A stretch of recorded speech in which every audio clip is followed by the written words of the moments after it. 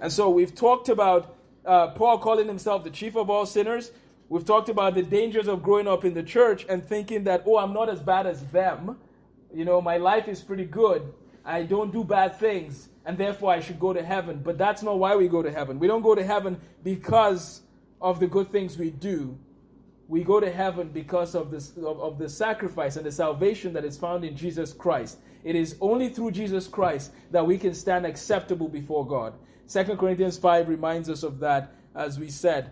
Now we're finishing off, as I said, First Timothy. I just want to finish the first chapter. I want to read a few verses. I stopped verse 17. Is going to come back in our conversation. So I want to just finish that off, and then the beginning of chapter 18. It said, uh, sorry, the beginning of chapter 2. It says, Now to the King, eternal, immortal, invisible, to God who alone is wise, be honor and glory forever and ever. Amen. And then he tells him, This charge I commit to you, son Timothy, according to the prophecies previously made concerning you, that by them you may wage the good warfare, having faith and a good conscience, which some having rejected concerning the faith have suffered shipwreck. And then he gives examples. Uh, one of the verses that comes up later, he, he talks about the importance of how we dress, right? He goes right into that in chapter 2. And, and it's important how we dress, how we live, and all of that. In chapter 2, he talked about um, you know, he, he, addresses specifically women in that chapter, but of course, we are told later on he addresses men and how they treat their wives and how they carry themselves. So both men and women are addressed in, in different contexts there. I only bring that up partly because that is a hot button issue and question of dress code and all of that. But see, again, the Bible gives us direction. We want to honor the Lord in all that we do, in how we carry ourselves, in how we dress. And if you ever have questions about that, talk to someone who's you know, an older for the women, talk to the older women. Uh, for the men, definitely catch uh, one of the older men and ask them questions about issues that you feel, okay, this might be getting too personal. I have a question. Talk to them. Share your heart out on that. And then the Bible says that, you know, the older women can lead in those issues and, and to the younger women. And then the men should also have those opportunities with other men. So I just remember that from chapter 2 that that is one real practical application it brings up. Because again, we live in a day and time where some days you're like, is this okay? Is that okay? Um, bring those conversations up if you have questions. And that was from First, uh, First Timothy 2 9, 8 and 9. So we've looked at Ephesians 5, we looked at First Timothy 1, and um, the, the quick review again. First question I asked Is there anything you believe or anything that you've come in contact with that you found to be so life changing that you wanted others to know about it? The part that I didn't add in that question is sometimes I've found that there are some things I believe so dearly that it hurts me when I see other people don't feel the same way about it. And this is in light of things that matter, okay? So, for example, I love Jesus and I want people to know about Jesus. But when you meet someone who just treats it trivial, ah, no big deal, it's, kind of, it's almost painful because you want them so badly to know Jesus the way you might know him at that point. But again, it might hurt, but you just have patience and you walk with people and you, you pray and you commit them unto the Lord. But it can be tough. It can be tough when I tell people that, oh, this type of, uh, what, I don't know, whatever product is the best way to go, and they don't go with it and they go with something lower. And you're just saddened by how, you know, they're living on a lower standard, you know? They drive a certain car, they're like, man, you just need to buy into what I'm saying. This car is the best, and they don't get it. Things like that. That's trivial, but I'm just saying I have, some of those have affected me. I'm like, I just feel bad that he doesn't agree with me on this matter. Again, those are trivial, but when it comes to the matter of Jesus and the word and truth, that's more difficult to deal with because we cannot make light or we cannot tr- treat those things lightly. So, We've talked about some of those examples. I'm sure we can think of more. Maybe later tonight, maybe later uh, tomorrow, you probably think of more things that you've wanted other people to also want. And um, but Jesus is the one that ultimately we should want people to want. So let's start with some practical steps that we can take in light of this, of how we ought to live and how to live lives that make sense. Number one, if we are to live lives that make sense, of course, we need to seek to spend time reading the Bible and seek time praying and as we learn what we learn from the Bible. Now, it's practical in that we're making time to do that. How does that play out in my life if I'm homeschooled or if I go to some school? Well, if it really means much to me, then I will try to make time to do it. And so, number one, the night before I go to bed, I have a plan for the day coming up that I'm going to get up and try to read the Word. And even if I'm not necessarily doing it in the morning, I'm going to do it at some point. The morning is generally, uh, many people have said, is the best, and there's reasons why people say that. But if somebody, for whatever reason, works an overnight shift and decides to read their Bible later in the day, it's not like they've committed a sin. But the main thing is, am I making time to read the Word? When I love someone, I make time to spend with that person. When I, when you know, you talk about family at Christmas time, people are like, "Oh, we're going to spend time as a family." Well, that's great because we love one another. Well, if we love the Lord and if we love Jesus, don't we want to read about what He has to say?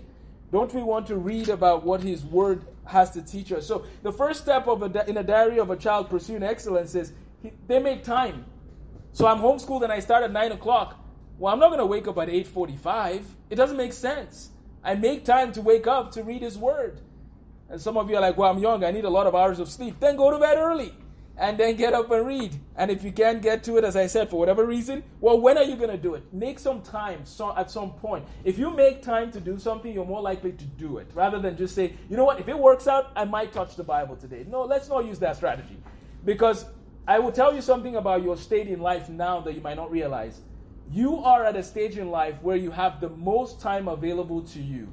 You will almost never have the time you have available to you now until you retire. I repeat, you will almost not have as much time available to you now until you retire. Some of you will be turn 17, 18. Some people get jobs and then they do PSEO. So then they're going to school and they're working a job. And when you ask them how they're doing, they're always busy or they're always tired. Some of you don't have jobs and some of you are not doing PSEO. So you have a lot of time. Now, I'm not saying that those who are doing those things have an excuse not to read the word.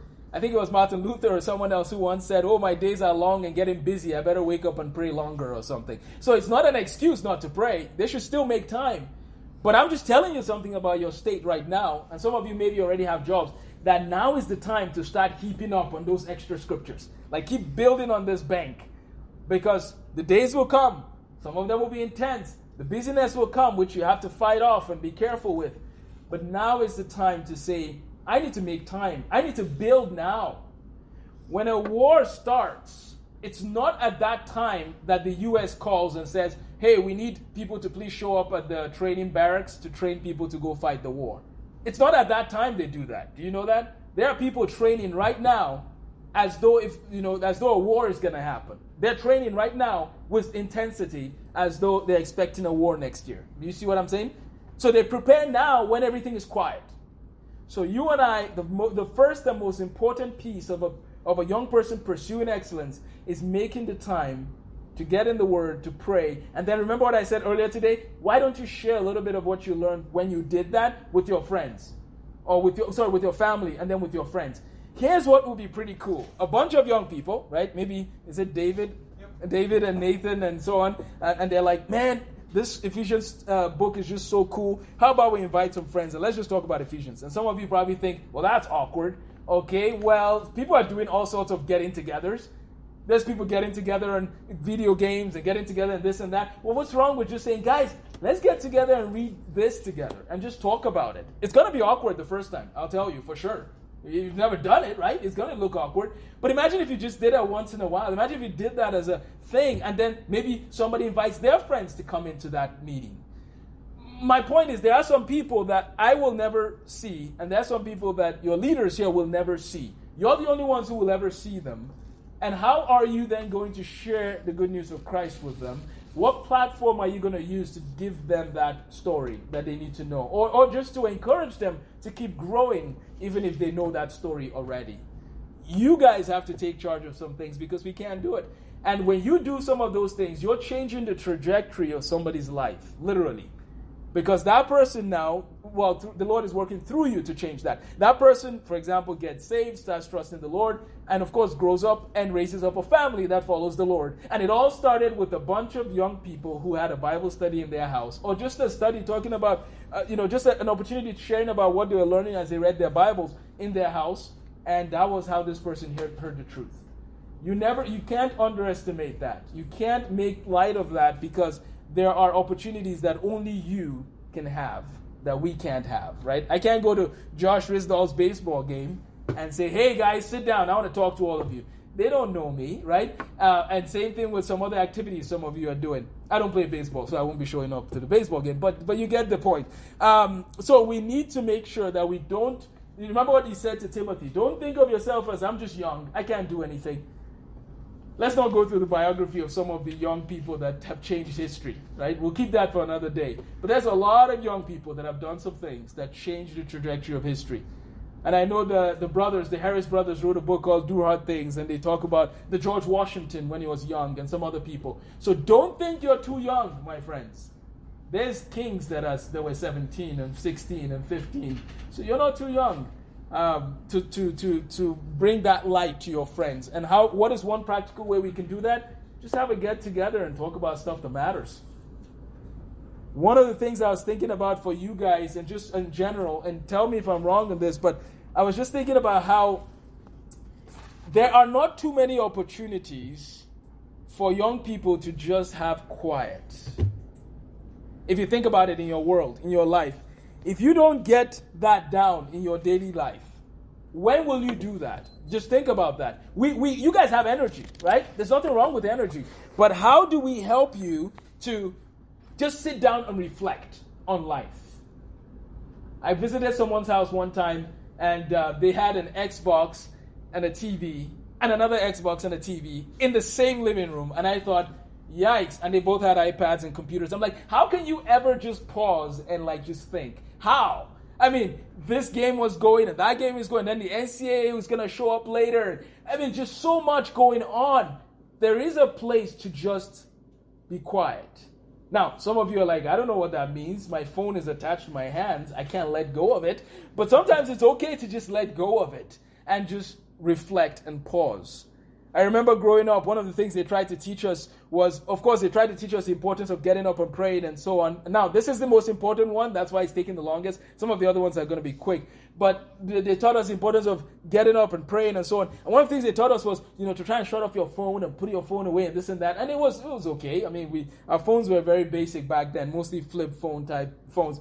But I just think of many young people today and they're like, no, I can't leave my phone for 30 minutes. I mean, seriously, I can't, right? And, and of course, now we have the phone addiction and there's therapy for that. But I'm not here to give you therapy for that. You can call the 1 800 number for that. But the point is, we should not be so glued to our phones that we can't just seek to have that quietness.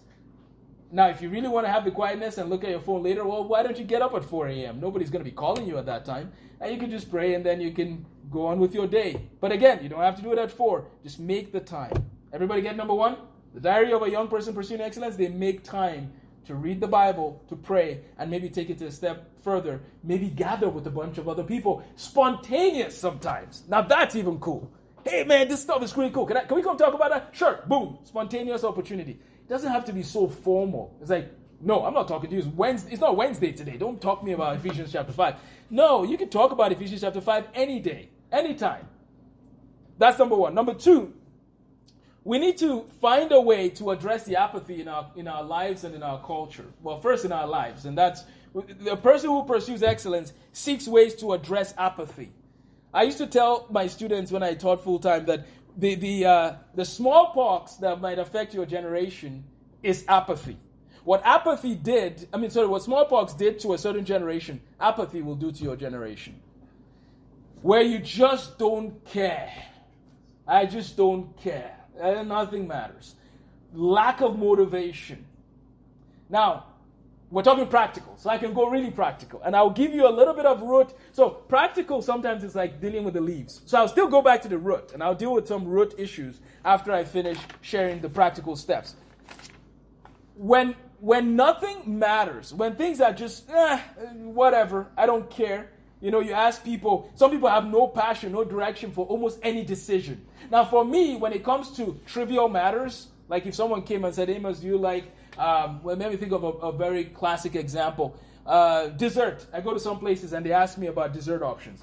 Would, would you like this strawberry cheesecake or would you like this chocolate, whatever? I tell them on matters of life that don't matter, I go both. Can I have both, please? That's what I do, right? I'm like, I don't want to think about it. Just give me both. I'll eat half and half and pass them. Now, yeah, Amos has issues with dessert. That's fine. I need to repent. I get it. But my point is, when we're faced with trivial matters, it doesn't matter, right? But then if I came to you and I'm like, hey, there's this great opportunity to help, can you help? yeah, no, maybe. So, so you're not even passionate to help. Do you see my point? You're just no motivation. I, okay, sure, I'll do it, but I'm not excited to do it, and I don't have any drive to do it. That apathy is so deep, and I've seen it grow more and more. That one of the things we need to be careful with is fighting the apathy. Well, how do I fight the apathy? Well, I can tell you some of the causes of the apathy.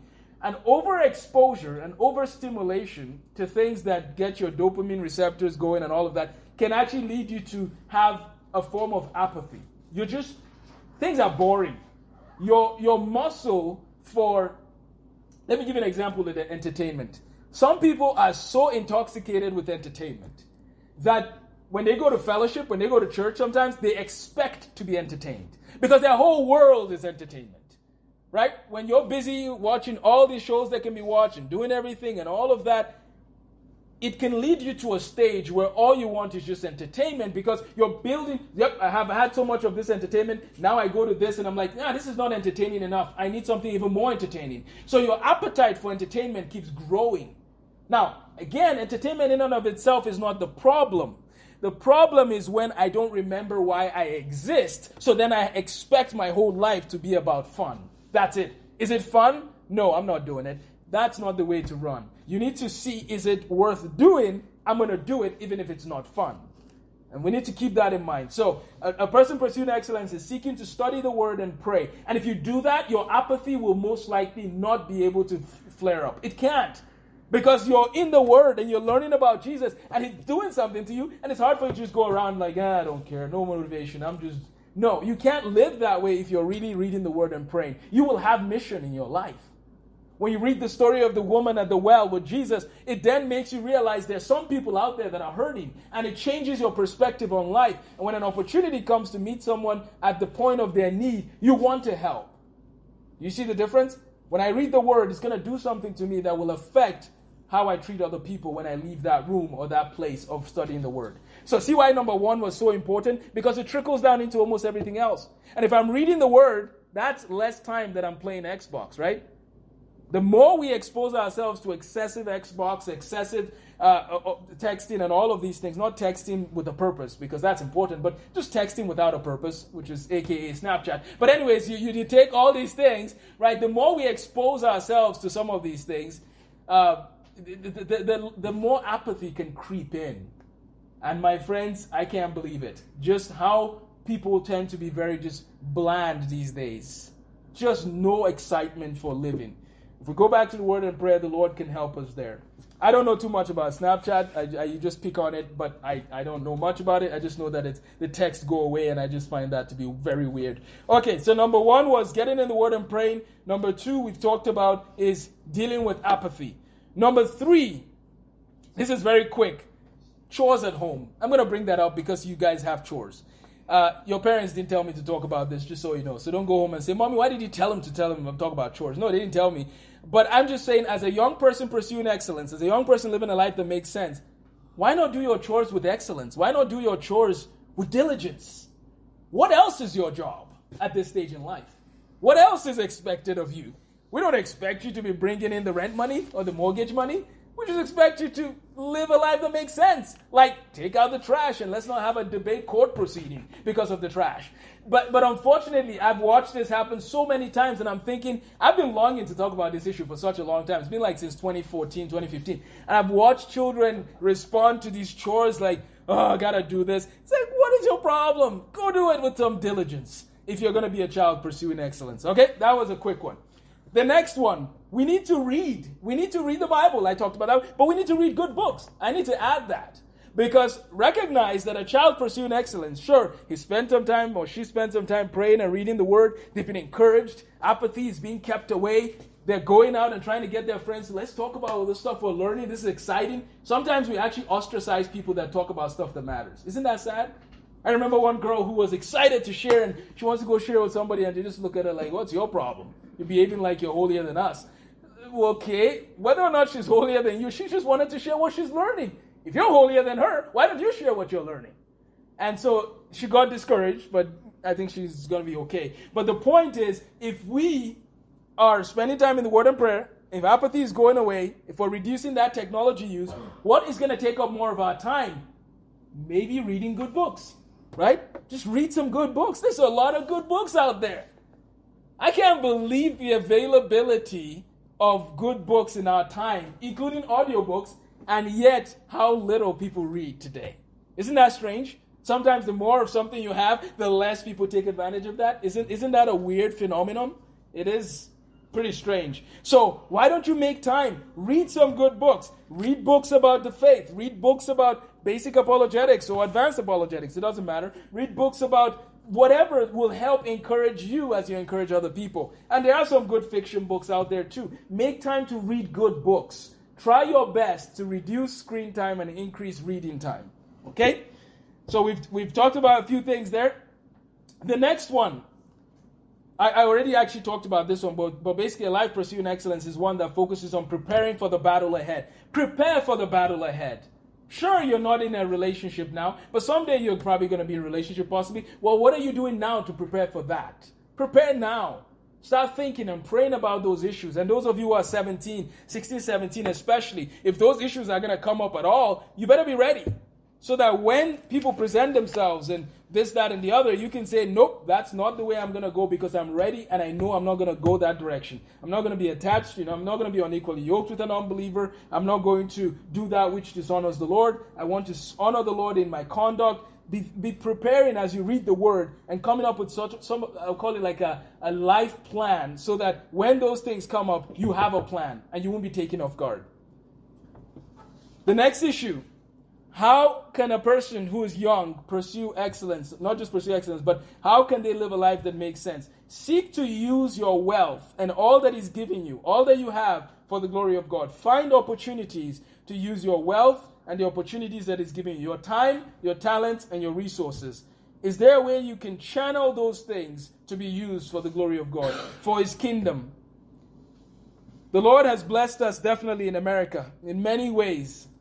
But unfortunately, when we absorb things to ourselves, we lose sight of how we can be a blessing to others. One of the things that I'll bring up now is funny because Levi brought this up one time, and I'm, I, I don't judge people who do this, but one year something occurred to me about birthdays, and I I'm not fighting anybody about birthdays, but I'll tell you though what happened. I realized that we have so much stuff. I think it might have been from me watching somebody at a birthday party. Maybe that's what happened. I, I visited a, a person's uh, par- a birthday party. He was probably six or seven. And he lives in a pretty big house. His parents are wealthy. And they brought gifts to his birthday. And I was watching him as he was opening his gifts. And now keep in mind that his dad could have bought anything that everybody brought to that birthday. Better than what people brought to the birthday. And I was watching him, um, you know, just sitting there. Some days I put on a sociologist hat, even though I'm a, a chemist, physicist. But I put on a sociologist hat and look at people. I just observe. And I, I observed something interesting. It's like he opened this gift and you're like, ah, that looks okay, you know, but, but it wasn't up, necessarily up to his tastes. And I thought to myself, now, this is my conviction. Okay, I'll give you a heads up. It's my conviction. It doesn't mean you have to do it. Romans 14 says that if somebody chooses a certain thing different from what I choose on an issue that is not a, doc, a, a salvation issue, I don't need to fight them. Some people are okay with eating meat and some people are not. I'm not going to fight them.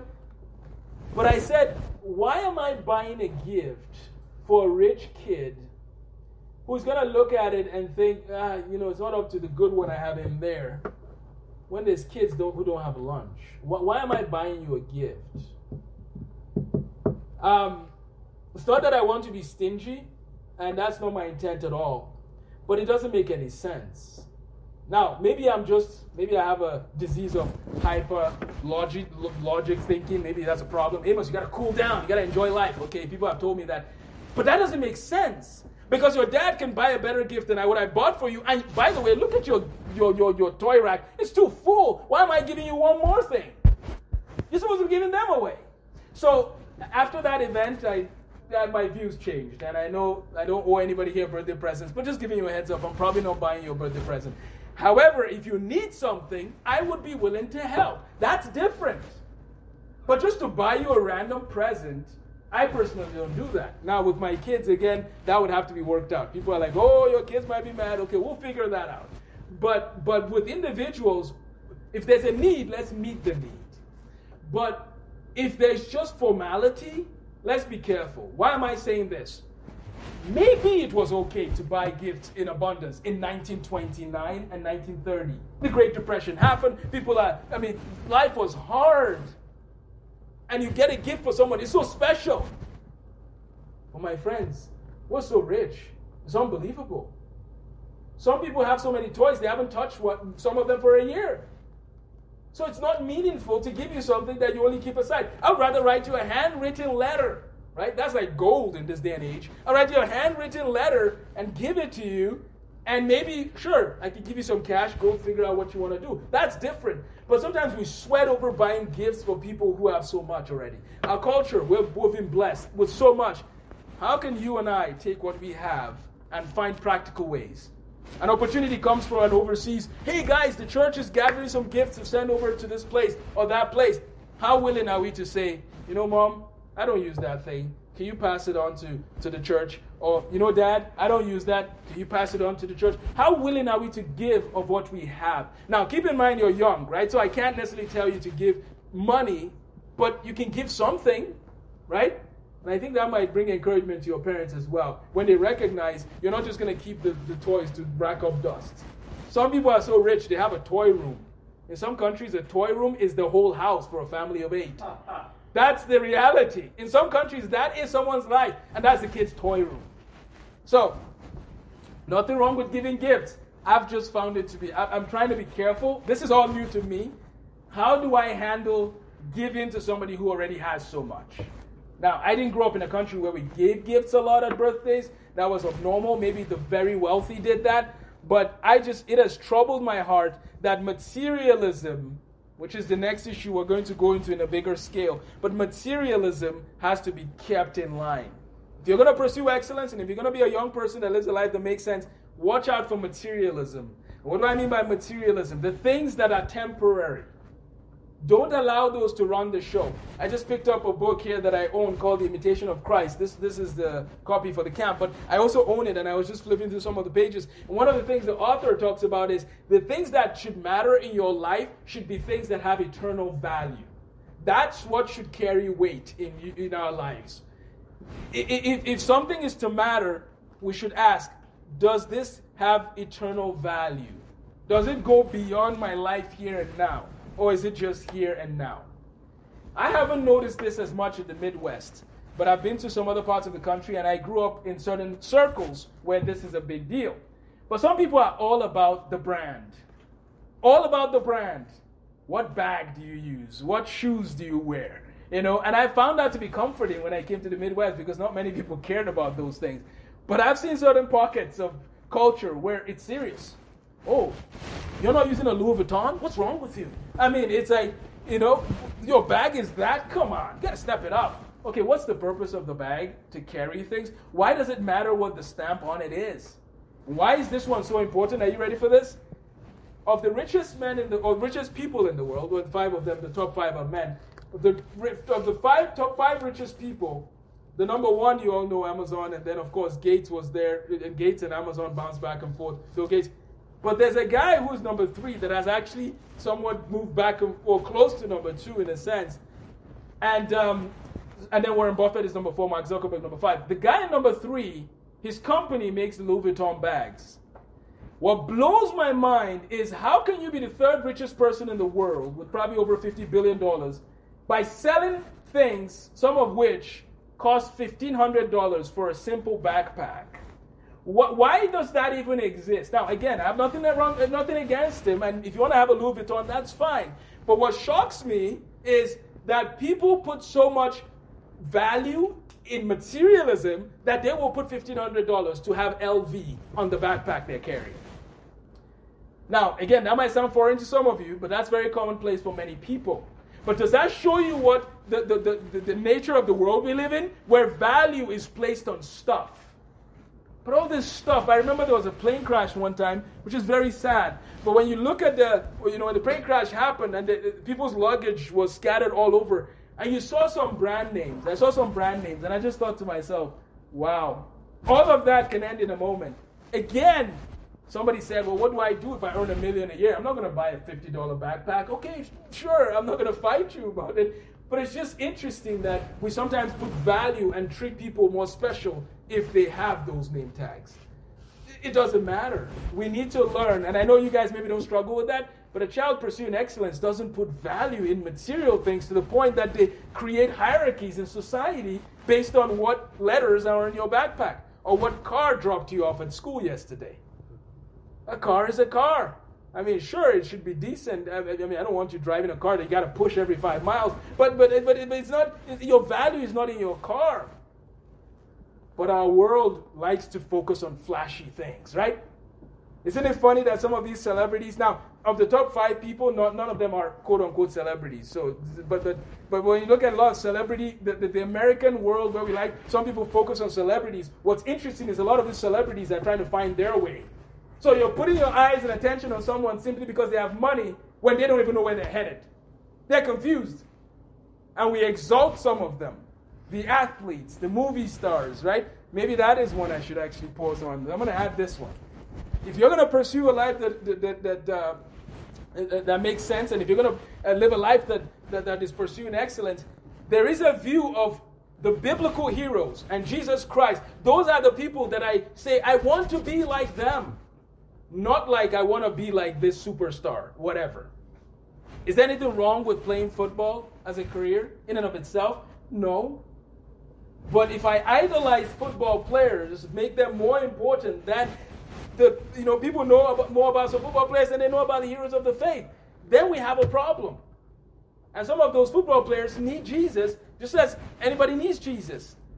But we somehow think that because they have talent and ability, they're in a different level. They're human beings who have just practiced a lot in something and are pretty good at it.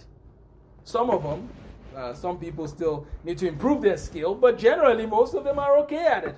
And so, if, if you're going to stand out in your generation, you have to lovingly show them that your mentors and your direction does not come from the culture, does not come from the celebrities, does not come from the movie stars. It comes from those who love Jesus, those who love Jesus. Those are the ones you follow. If I was going to become a professional football player, is there anything wrong with learning from another football player? No, I can learn from them, but still, they're just someone I'm learning from to learn that football skill. Jesus is still my direction. And then you hear some of these celebrities make comments as though they know what they're saying. And I can say this because I'm older than a lot of them, especially the ones in sports. Like, what are you saying? Just because you can play basketball doesn't mean you can do anything else, my friend. I'm not saying you can't do other things, but please don't come out and be talking like sort of make a statement that makes sense and then say nonsense and think because you can play basketball you can do that. That doesn't make any sense. But guess what? A lot of kids, they want to follow them. Oh, the celebrity said this is okay. The celebrity said there's other ways to God. The cele- oh, you can't do that. Just because you're a celebrity doesn't mean that you have everything figured out. I didn't watch the awards, but there were some awards that were given not long ago, and uh, a Christian apologist released a video about it. And the reason why he released it is because a woman came on stage and just made some terrible statements, terrible claims. And the problem is not only that she made the terrible claims and the terrible statements, is that the people in the audience, they were just clapping as though she made sense. She didn't make any sense. But because, again, I'm a celebrity, what I say must carry weight. No, it must not carry weight. You need to go figure out what matters, my friend. Yes, use the talents you've been given and hopefully use them rightly, but don't go around speaking terribly because guess what it does? It causes our young people to lose their way. And unfortunately, she was talking about a hot button issue. I think she was talking about abortion and basically how that's part of why she could do what she did because abortion is fine and good whatever. It allowed her. And I just thought, you can't be saying this. And if you were a Christian in that event and you didn't clap, I'm sure some people would have looked down on you. But she came out and said that, and many people thought that was just fine. So we have people that are worshiping celebrities a person, a young person pursuing excellence does not worship celebrities. They call, they, they seek to follow Jesus Christ. They learn from some of these celebrities what they need to learn, depending on what field they need to learn in. So, basketball, I might learn from a basketball player. But as far as what they say after that, it must be filtered through God's word. It doesn't matter who we are, God is God. And these celebrities need to understand that. So, we've talked about studying God's word and getting together spontaneously. We've talked about, of course, making the time to do this. We've talked about having wealth and finding a way to give that away or finding ways to bless other people. We've talked about addressing apathy in your world. We've talked about chores at home. We need to do those with excellence. We talked about reading good books. We've talked about getting ready for the battle ahead. You have to study and prepare for the battle ahead now. The battle for sure, someday you're going to get married. Well, maybe get time and review those things and ask those questions to your parents, to the leaders in your groups, and make sure that you're taking counsel. Take counsel because that will keep you out of trouble. You've never been there before. So let's deal with this next one, which is insight. If you're going to live a life that makes sense, you must seek what? Insight. And when I'm seeking insight, I'm trying to ask somebody else to tell me about the road ahead so that I don't repeat the mistakes they made. If I went back to your age right now, there's some questions I would be asking. And if I asked those questions, my life would be somewhat, well, actually, much better in certain arenas. I would ask questions about relationships. I would ask questions about this and that. And I praise God, you know, I, I, things I find in my world, but I still know a lot of young people, uh, people my age, who are still trying to figure out the issue of relationship. They're still trying to figure it out. They haven't made sense of it. But I remember in 2008, uh, 8 January, I don't know if Eric will remember, we were actually at the gym here at Storybook, and I was asking those questions. Because I never, the whole thing of relationships had not really been an issue in my life up till that point where, okay, I'm, I'm almost going to be done with college here in a year or two. I'm thinking about this. And I remember telling him, okay, there's this relationship issue. How do I handle it? And so I was looking for insight from somebody who has gone before me. If you're going to pursue excellence, if you're going to do well, make time to get insight from somebody else who has gone before you. Humility is not a problem. I mean, it, it, humility just needs to be a part of our lives. We should not be proud and think, oh no, I'm not going to ask. Then they will think I don't know. Well, you've never been there before, so why don't you ask? Mistakes are mistakes partly because you didn't know you were going to make them when you made them. Some people are like, okay, I'm just to go do my thing, and then when it all crashes, I'm to say it was a mistake. How do you how do you orchestrate a mistake? How do you make it all lay out? Yep, I'm to do this, do this, all these things that are terrible. I'm not to listen to insight, and then boom, you crash. Well, that was a mistake. No, that was a bad planning on your part. And how do we reduce bad planning and mistakes? Look at those who've gone before you. The next thing after insight is education. I want to talk about education and your academic life. So let's pause for a second and then we'll come back to um, the, the chart. Okay, so education and the academic life. That's the other thing that you have to do, correct? Everybody here go to school? If you don't go to school, let me know. Talk to the State Department of Education. You need to be eh, doing something. Or homeschooled, I mean. One or the other. If you're not homeschooled and you're not going to school, what are you doing? Like, where do you think you are at? This is not the wild, wild west. Okay, so here's the deal with education. Education is heavy on my heart, and I could have a whole seminar on education. I'm not going to do that today, but I want to tell you one thing is that is a dream, and I shared this with Eric a little bit. I am inspired by the stories of people like Isaac Newton, of people like Leonhard Euler, of some of these great mathematicians and scientists. I'm inspired by their stories. These people were regular human beings who applied themselves, who worked hard, and they did some things that till today are helping you and me. Some people gave of their time and their effort. I mean, I think of Blaise Pascal, who was about 17 or 18 when he invented the calculator to help, or the calculating machine to help his father, who used to do taxes and stay up all night. He helped his father. He invented that at about 17, 18. He ended up dying at the age of 39, by the way. But the unit of pressure is Pascal. How can you die at 39 and we still use the unit of pressure from the 1600s, Pascal? How can it that be possible? You must be a pretty big deal. And Pascal was also a believer and follower of Jesus Christ. And I'm encouraged by his story of how he applied himself to excellence in academics. And that is so lacking. Now, this is not all on our parents. Please don't say, oh, my parents, it's their fault. They, they gave me this curriculum, which is making me not smarter. No, that's not what you should do. I want to tell you about a senator who lost his wife one time. I think, I don't know if it was sudden, but whatever the case, he had a lot of kids. So you know what he had to do? He had to figure out how to educate them. He told them, all of you are going to have to learn something here. I'm going to teach you how to be disciplined and focused. And he taught them as young as I think six or seven. And you wake up, you do this and this. If you remember Sound of Music in the movie, that whole similar situation. This is how it's going to be done. And his kids all flew high so that his math, his, his, his education curriculum became a curriculum that other people use now all over the country. But what he did was he taught them the importance of taking ownership. Okay, I'm to get up. I'm to get up at this time. I'm to do this. I'm to get seated. I'm to focus. I'm to do my work. There's a time to work. There's a time to play. And these kids started flying high. You'll be surprised at how young some of these kids are and are disciplined. I see some people who are high school seniors. Mom, should I do number 15? You know, uh, I don't want to do this. You're a senior. You're almost eligible to run some societies, my friend. And you're still complaining about doing number 17. How about we change that and recognize that, you know what? I'm, I'm not young. I'm pretty old. I need to step it up. When I was in, in, in, seventh grade, we had to go to boarding school. Not because I was a bad kid, but, but, but, but we had to go to boarding school because that's what majority of people did, which is another day's topic we can dissect sometime. But one of the things I'll tell you is that in my seventh grade year, I had to take 17 subjects with 17 notebooks without my parents, be responsible for having all 17 notebooks up to date, or you get in serious trouble, spanking or other things, you get in serious trouble with those 17 subjects and a lot of us, now I, I can say this because I wasn't number one in the class in high school. In elementary school, I was, but not in high school. In high school, I wasn't top 10, but, um, but I can tell you this most of us had our notes up to date for six years in a row without our parents. Six years in a row. So from seventh grade to 12th grade, we're in boarding school, we had to cater for ourselves. I'm not saying you have to go to boarding school, but my point is this is the point I'm making with the point I'm telling you you're much more capable than you even know. Sometimes you haven't tried, you haven't tested yourself to see that you are capable of getting up, of getting your schoolwork done, of doing your schoolwork with excellence. You're capable of it. But you live in a country where it's okay to be lazy. And that's where you say, I'm not going to be lazy. I'm going to be different.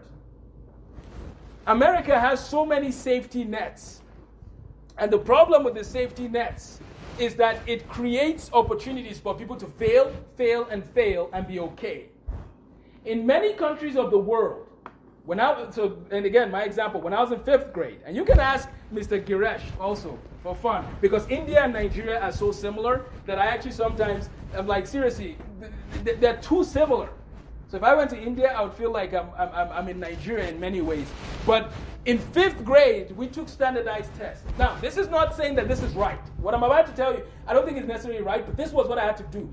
In fifth grade, I had to take an exam. Based on how I scored on that exam, it would determine what high school I ended up in. Based on what high school I ended up in, it would determine if I ever went to college. But it all goes back to that fifth grade exam. If you don't take it in fifth grade, you can take it in sixth grade, or you can do one or the other. But after sixth grade, you take that exam, you do terrible, now, back then we didn't have as many private schools, but you do terrible, you don't get into a good school, it most likely means you're not going to have a very good 12th grade cumulative exam result, which means you're probably not going to go to a good university, or even if you did, you might end up studying something. Like you, in Nigeria, you can be undecided, so we all had to have a major in mind in 10th grade. So when you say, This is my major, instead of them giving you medicine, for example, I want to be a doctor, they would actually say, Ah, nah, it's not good enough, biology or zoology. That's what they would do to you, and that's it. Because medicine is a terminal degree. It's one degree in Nigeria. In America, it's, it's, it's a post undergraduate degree. You get a first degree and then you get medical school. In Nigeria, it's one thing. Med school is one thing. And they can deny you that based on how they feel about some things from that cumulative exam, which is only given once a year. So I grew up in a, culture, in a culture where safety nets were missing. If you missed the fifth, sixth grade safety net, you're in trouble. Guess what that did to us? We woke up. We, we, we were serious because we knew that our window was short. Do you see what I'm saying? Now, that's reality. Reality is that if you don't do some things right, you get in serious trouble. That's reality. The United States reality is that, oh, I could keep playing around. But that's not reality. You see the problem with the US? We are not living in reality. We're living in a false reality.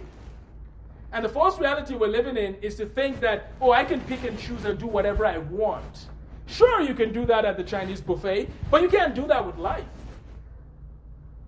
Choices have consequences. You could choose your choices, you can't choose your consequences of your choices.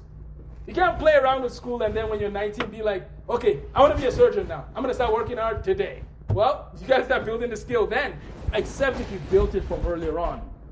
So we can dissect education more. I'll probably do a whole book on this again sometime. But this issue is huge. So my message to you on education for a young person pursuing excellence is I want you to treat it like this. I know that there's so much comfort. I know that there's so many safety nets, but I'm still going to work hard as though they're not there. You hear that, what I said? I know those things are there, but I'm going to live my life somehow assuming they're not there so I don't get lazy and complacent and back to the apathy again. Do you see? So please, with your schoolwork, seek to apply yourself. And I'm very sorry that we have to teach you some topics that don't seem to make sense. I'm sorry that we have to teach you some things on polynomials that you don't care about. I'm sorry. But you just try, you apply, you do your best. You, you, you, you make, I mean, seriously, what else are you going to do? Go on strike? I mean, seriously, what, what, who's going to listen to you? I'm not doing that. I'm not doing factoring. I'm sorry. You got to do it. So why not find a way to do it with some joy? Isn't that the best way to do it? If you got to do something, why not do it well? Now, when you finish with your uh, K 12, sure, go to college and study something. I don't know, go study whatever, German music or whatever, which is not the best in the study, but go study whatever you want to study. Uh, don't study German music. But, but my point is, you, you go and you study something that makes sense, but at that point, you can have your passions to the max. But right now, if you got to do it, why not do it well? So when you finish having that Bible study with a bunch of your friends, why not factor some polynomials after that? So that would be ideal. Uh, this is like when Amos puts on the lens of ideal. He walks into a room with a bunch of math books and Bibles. That's ideal. Um, but anyways, some of it sounds like a joke, but some of it I'm serious. If you're struggling with school, why not get together and help one another figure it out? What's wrong with that? Oh, you're going to think I'm nerds. Who cares what they think? Because that's what we had to do, by the way. We spent time, we studied the Bible together, but we also studied schoolwork together. Some of the people I studied with were pretty smart people, and some of them now are professors at Yale and whatever. But we, it all started back then. And, and we still have pictures. You see us in our classroom studying hard. And some of them kept up with that intensity, and now they get the opportunity to teach um, all over the world. So apply yourself now because not just don't just apply yourself because you want to do well but because by applying yourself to your academics you are helping somebody else did you guys hear that?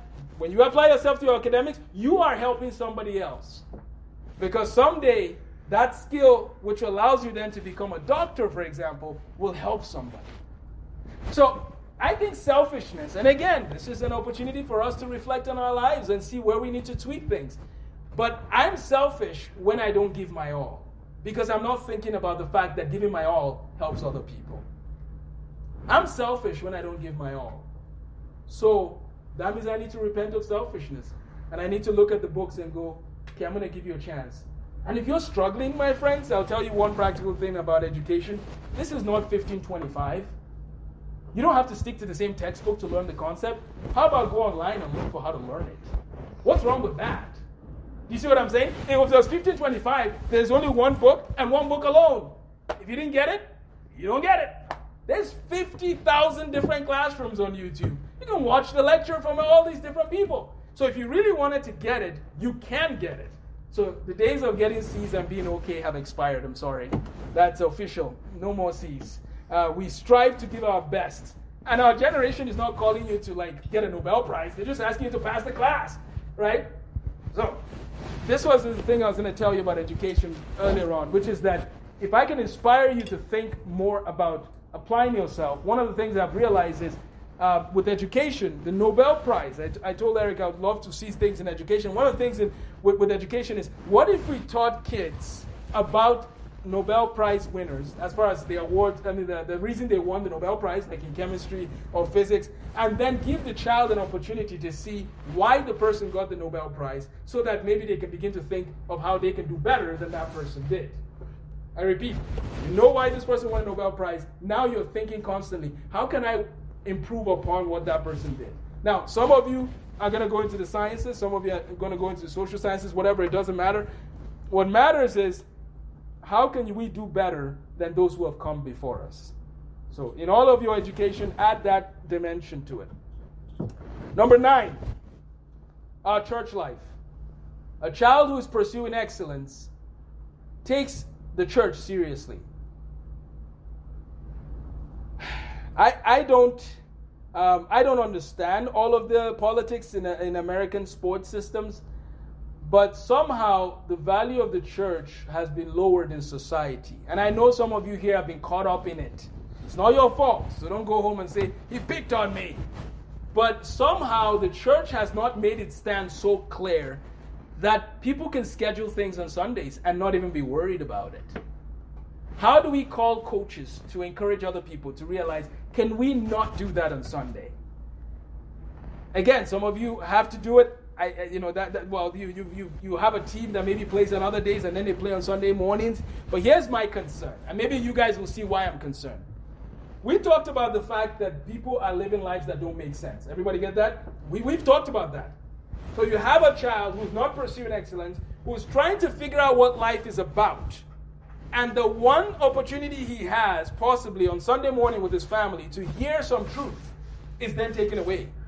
Well, how is he going to be reminded of the truth? Now, I'm not calling you to be a Sunday, Sunday Christian, but my point is some people, that Sunday morning is an opportunity, it's a window that they really need, but now it's not even guaranteed for everybody. And the other level is some of you here want to be involved in the church, but you get certain jobs and they schedule you on Sunday mornings. Or some of you want, you, you, you, you get a job, and, and I'll tell you I'm a little radical on this job part. I'll explain what I mean in a second. You get a job, and they schedule you on Wednesday night. And you told them, I'm sorry, I would really like to not work on Wednesday because I want to be at youth group. Here's what I mean about being radical on this. If you're like Daniel, this is my theory, and if I'm proven wrong and you lose your job, Eric has my number, give me a call, and I will see what I can do to plead and beg that you get your job back. But if you're like Daniel, my understanding is that if you are so exceptional in your job and you plead to have Sunday mornings and Wednesdays off, and the people say, sure, you can have it off, and then they start scheduling you on it, I would politely approach them. This is, I'm saying, if the church matters this much to me as a young person, I would go to them and politely say, I'm so sorry. I do like making these sandwiches, but I cannot make them on Wednesday night because it's my opportunity to be a part of the body of Christ. And if they fire you, praise the Lord. That's why I said it's a little radical. But here's my point if you're so exceptional, it is hard to fire you. When people are exceptional, it is hard to fire them because you know what you're missing out. Where am I getting this example from? When the king threw Daniel into the lion's den, he could have just gone and slept. But what did he do? He couldn't sleep. And then the first thing he runs, Daniel, did, did your God save you? Like, you gotta live, Daniel. Don't die.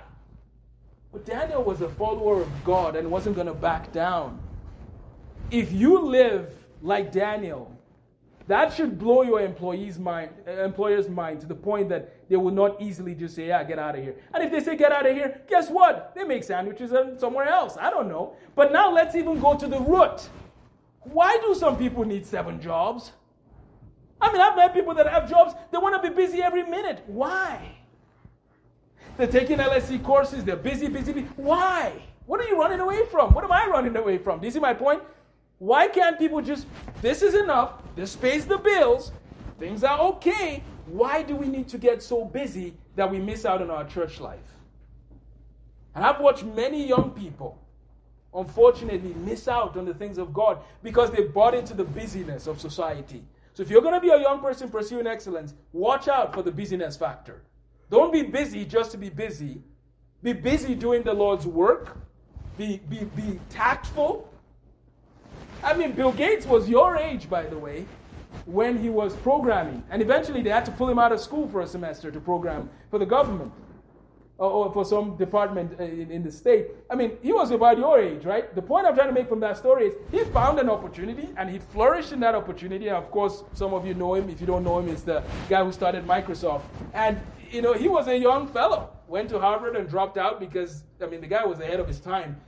But and I tell people, please don't go to college and drop out. Only Harvard. Make sure you go to Harvard first, then you drop out. It helps. Um, I'm kidding. Don't drop out. But it's just funny because Zuckerberg, Facebook, he also dropped out of Harvard. It's like, oh, these dropouts from Harvard, right? They, they seem to find a niche.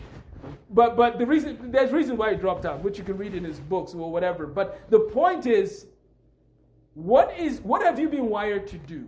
Some of you here should not be working in a sandwich store. Some of you here should be doing some things with your hands that will provide an income. Maybe it's selling something with reasonable, with our parental guidance and reasonability, I guess, on Amazon. Maybe selling some math books on Amazon. I don't know. doing something else. But why do we limit ourselves to think, well, I got to work in that store and this? And then you find yourself working on Sunday, Monday, Tuesday, Wednesday, Thursday, Friday, and you're busy. You, you lose your whole life. And then you go to college, and then you graduate college, and you're like, okay, well, that was intense. I'm 23 now. Okay, let's go get married. And you didn't have a life all those years. Why, why don't we step back and be more tactful? Yeah, I'll take this job, but it must not violate these following things. Can, can we be more principled and say, this is it? I will not work this job if it violates these things. Because guess what? You might gain the whole world and what? Lose your soul. What will it profit a man to gain the whole world? Your bank account is big, but you just you, are nowhere to be found with the Lord. So let's seek opportunities. As far as the sports one, I don't know that I have a solution to that. My prayer is I, I don't think that's going to change in America, unfortunately. And some people maybe will find themselves traveling this, that, and the other. And some teams I know might have a chaplain or this and that. But if you find yourself in some of that situation and you're not the thermostat and you're not determining the temperature of the group around you, sometimes it might be that you pull out.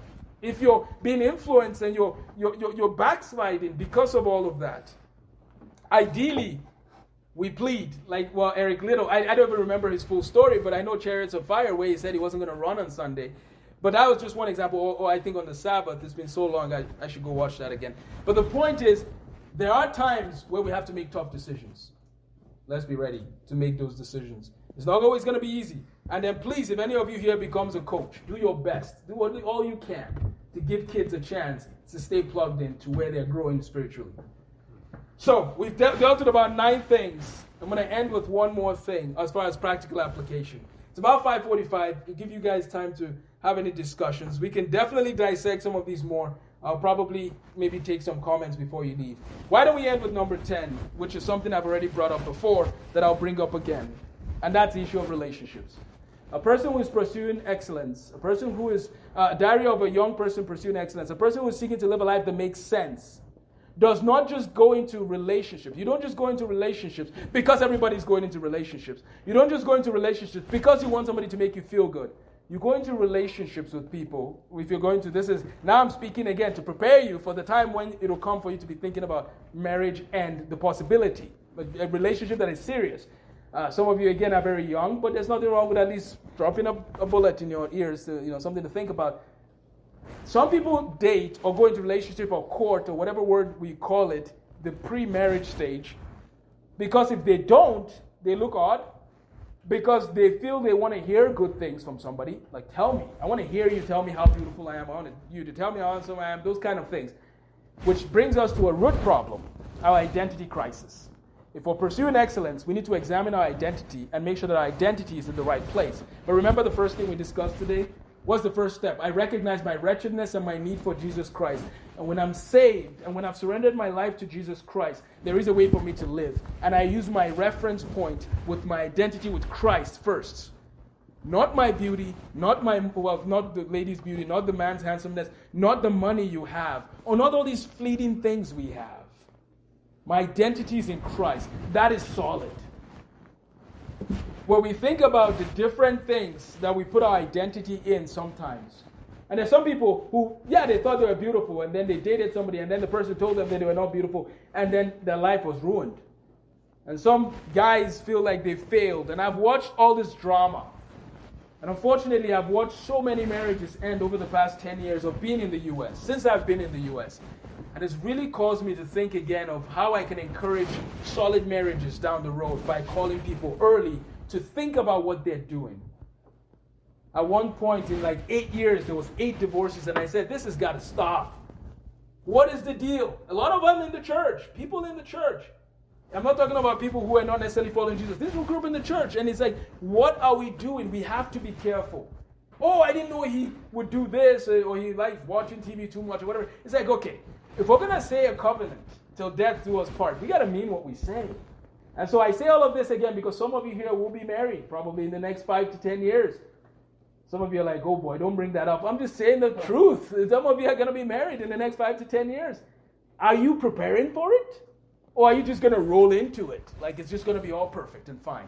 And the reason why I bring this up is girls, remember who you are in Christ. Boys, remember who you are in Christ. Walk the, the course, walk the road, walk as you ought to walk. Let Christ be, let your identity be in Christ. Not in what other people say, as much as they can be saying nice things, but let your identity be in Christ. What do I recommend when I talk about relationships? If there's a person, I'll tell you one secret.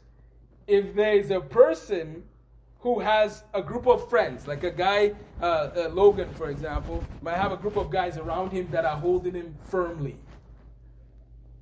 That and a girl came and asked, "Oh, what do you think? I have this guy who I think I want to date. I want to know who's around him." And if the people around him, I'm like, "Oh, some solid people. Okay, this this looks good. It's a good start." But if you ask, if I ask, and oh yeah, he works at this place, doesn't really have any friends. Okay, that's like red flag number one. Okay, how, how do we? What are the connections around him that can keep him in line? If he doesn't have that, okay, yeah, it's all nice, but we don't know what's going to happen next. We don't know if he's following the Lord. He says he's following the Lord, but we don't have any way to even know any of that. Marriage is a serious issue. Relationships are a serious issue. And ultimately, what matters is that we find people who are seeking to serve the Lord, who are surrounded by other people who are seeking to serve the Lord. And we have this person who is seeking to serve the Lord, who's surrounded by people who are seeking to serve the Lord. Now you have those two people. That relationship makes sense. When you don't have solid fellowships that are governing the lives of both people, now it just is all warm fuzzies. It's all just, oh, they feel good, whatever. That, that doesn't help anybody in the long run. And two people getting married. 1 Corinthians 7, by the way, if any of you is planning to get married soon, make sure you read 1 Corinthians 7. Some of you are like, I don't want to write that. He's going to think I'm getting married. Don't worry, just memorize it and do it later. 1 Corinthians 7, it says that let him who's single, you know, stay single, let him who's married, do whatever. But he's saying, yeah, sure, even if you're married, live as though you're single in the sense of a singleness of vision. If I'm all out for Christ, and that other person, or if somebody's all out for Christ and the other person is all out for Christ, now we got a team. We're moving forward, advancing the kingdom of God. Because ultimately, the kingdom of God is what matters, not how I feel about what somebody said to me. That's not what life is about. That's not what marriage is about. But I think that's where our problem is, is that we've lost the bearing of the point of marriage. It doesn't have a point for many people. And why am I saying that point first? So then the dating doesn't have a point either. Do you see what I'm saying? When the marriage has lost its bearing, the thing leading to the marriage has also lost its bearing. And now we have a society of people who are just looking for someone to make them feel good. And that does not work out, my friends, in the long run. Children get hurt in the process. So, why don't we encourage one another to grow in learning these issues? So, Nathan comes and says, Oh, I, I think I found somebody I want to date or whatever. Ask him the hard questions. Who, you know, does the person love the Lord, this and that? Well, they kind of do. They go to church seven times a year, you know? Okay, no. Do they love the Lord? And, and if they don't, is well, Nathan, what's up? Well, well I'm going, I'm going, they're going to get saved. Okay, well, that's a different conversation. We, again, they can get saved, sure. But I'm just saying, just walk with caution in it. Be careful with it. And they might not be saved and they might get saved, but sometimes people actually stay on the outside until that person gets saved and then they have the conversation. Now, am I saying that people can get saved after dating and so on? No, it can happen. But as a rule, we don't want to establish like just go try date anybody random. Does that make sense? We have to have the guidelines, and sometimes God works through, you know, again, it's not what His Word says. His Word says, do not be unequally yoked with unbelievers. But somebody, that might have happened, but I don't go into my life saying, I want to date an unbeliever someday. Does that make sense? So, anyways, I think I've beaten the dead horse. But, but you get the point.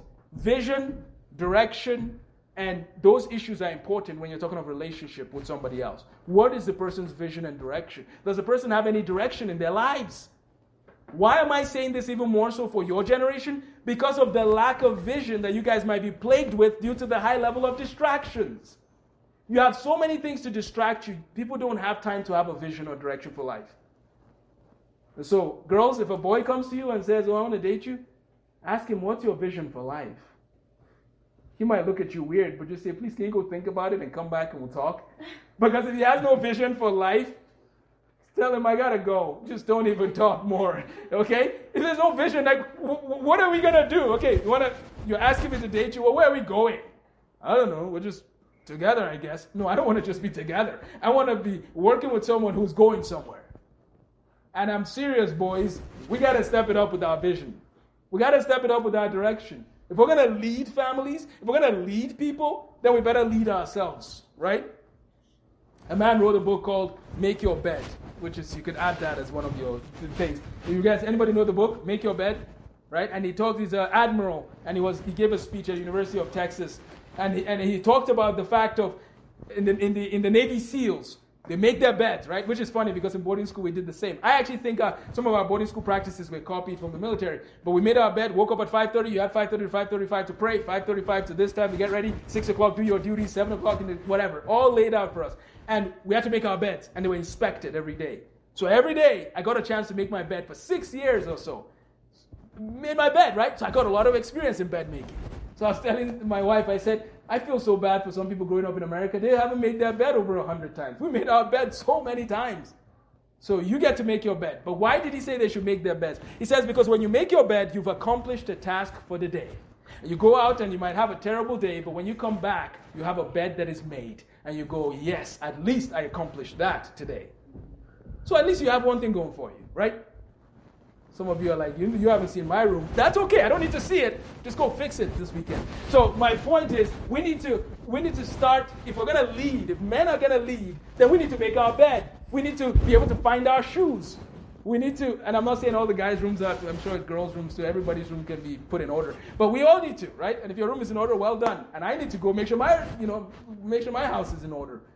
Order is important, but it's lacking Part of a person who has a vision is this order. So, do you have order? Are you reading the word? Are you studying the word? Then you are possibly a candidate for a lady who's thinking of marriage because you have some direction, you have some guidance from God's word. If you don't have those issues, you can't lead and you can't do much. So, let's take in more of God's word because, again, we have Facebook, or I guess some people call it fake book. We have fake book, we have brag book. It's almost like bragging, right? Sometimes. And there's nothing wrong with sharing the, the things that the Lord is doing through us. Praise the Lord. But if that's all I'm doing is just scrolling Facebook and this and that, I won't have vision in my life. So I need to have vision. And I need to lead my life first before I can lead with another woman. Young men, some of you are going to be the husbands and fathers of tomorrow in the next few years. Let's get it right and let's blaze that trail. This is the diary of a child who's pursuing excellence. And young women, don't don't lower your bar.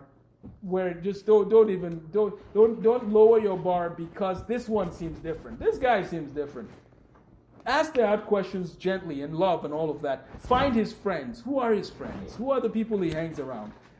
And your generation, unfortunately, is growing up with so much of society breaking down that you need more of God's word and more caution because of that.